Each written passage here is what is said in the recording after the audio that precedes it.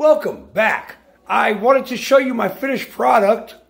Now what we've done is, uh, we've, uh, there we go. What we've done is, is we've placed the eggs. I went with sunny side up. I'm not the, I'm not the best egg flipper, but I've put a little care into this.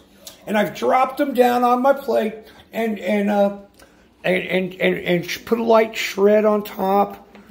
I'm going to enjoy this, folks. This is good. I feel like I care about myself a little bit when I cook a meal like that. I would do this for Cheryl, but she, she just doesn't like breakfast too much. She prefers, you know, sex over breakfast, but eh, I'm okay with that too. So what we got is we got a loving plate, folks. A loving plate of food that I'm going to enjoy and I'm going to start my day off right. And I hope you do too. Again, thank you for joining me for another edition of making a turd and doing it with such class. Have a great day, folks.